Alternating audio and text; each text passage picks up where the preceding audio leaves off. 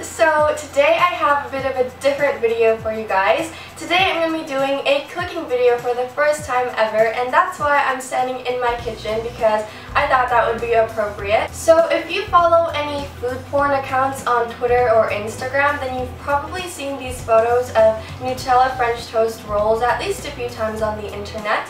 I know I have and every time I saw them I was like that looks so good. I really want to eat those, but it looks really hard to make and I'm not a really good cook. But I attempted to make them and it turns out they're actually really, really easy to make. The recipe is super simple and they're really, really good. They're so amazing. It's literally a combination of everything that I love. Strawberries, Nutella, and French toast, and cinnamon. If you're anything like me and you have a major uncurable sweet tooth and or an undying love for Nutella, then this recipe is definitely for you. So I hope you guys enjoy this video and I will see you guys at the end of the video.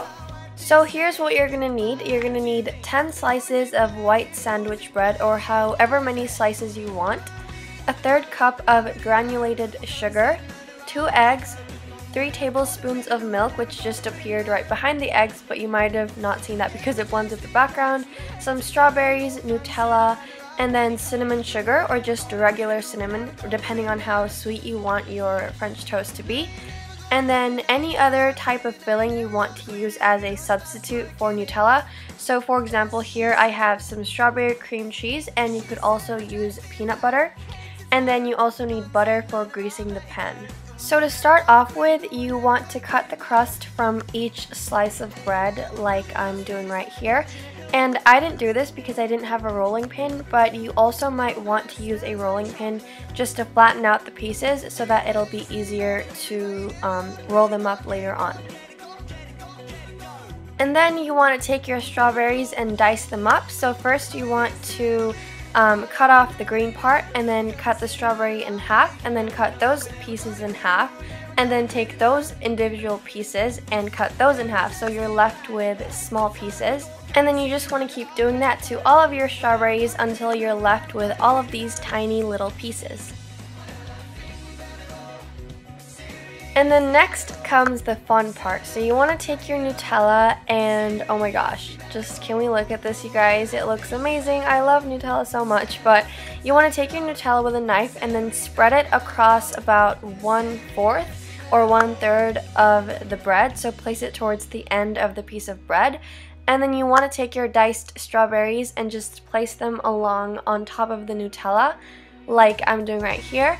And then you want to roll up the piece of bread as tight as you can. And when you're done rolling it all up, you want to take some Nutella and glue the edge of the piece of bread onto the middle section, if that makes sense. Because if you don't put Nutella, the bread is not going to stay rolled up so I realized that you need to use a bit of Nutella to use as a glue because Nutella is very sticky.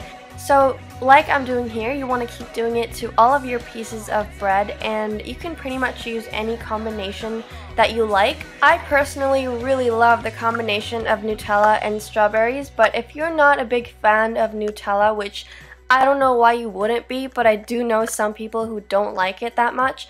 You can pretty much use any combination that you like. Like you can even use bananas or any other type of fruit. It all just depends on your own personal preferences.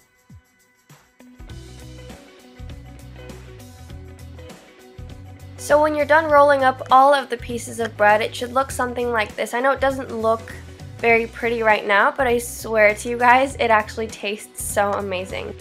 Okay, so the next step is to take a shallow bowl and take your eggs and crack your eggs. I actually had trouble with this step because I suck at cracking eggs. But after you do that, you want to take chopsticks or whatever tool you want to use and whisk the eggs so that they become all mixed up and become this like yellow gooey mixture like you can see here. And then you want to take your milk and pour it in and then whisk it some more so that all of the milk is evenly distributed. You're basically making an egg mixture like you would when you're making regular French toast. And then you want to take a rolled up piece of bread and dip it into the egg mixture and kind of move it around with your chopsticks or whatever tool that you're using. and make sure that the entire thing is coated well with the egg mixture. So just keep doing this until all of your bread rolls are completely covered with the egg and then place them all onto a plate and then you're ready to start cooking. But before you start cooking, there's actually one more thing you have to do, which is prepare your cinnamon sugar. So just take another shallow bowl, put in the sugar, and then add as much cinnamon as you want. And how much cinnamon you put in really depends on how strong you want the cinnamon taste and smell to be.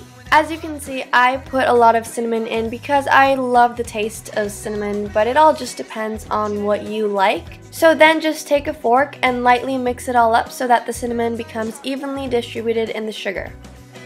Then take a medium-sized pan or skillet and turn the heat up to medium heat and use the butter to grease the pan. When the butter is completely melted, you want to cook the French toast rolls in batches of 3 or 4 depending on the size of your pan. And you want to turn them around about every 1 or 2 minutes until all sides are a nice golden brown. Make sure to add more butter to the pan as needed so that the bread won't burn. So when you think your bread rolls are ready, you want to remove them immediately from the pan and put them into the cinnamon and sugar mixture and using chopsticks or any other tool, just roll them around until um, all of the sides are completely coated with the cinnamon sugar. And just repeat this with all of your French toast rolls. So when you're done, your French toast rolls should look something like this, and this is basically what my finished product looked like. They were so good, I really want to make them again, and I really just kind of want to eat them all day, every day. They're the perfect breakfast food, but you could also have them for brunch or lunch or even just as an after school snack or maybe even a midnight snack. Let's be honest here, these are to taste the best at 12 a.m. If you liked this video, let me know by giving this video a thumbs up and I will try to do more cooking or DIY type of videos in the future. Okay guys, well that's it for my video for today. I hope you guys enjoyed. Make sure to let me know in the comments below or through any of my social media links, which will be linked in the down bar, if you've ever had these Nutella French toast rolls, or if you actually made them after watching my video, that would be awesome, so please let me know. Thank you guys so much for watching, and I will see you guys next time. Bye!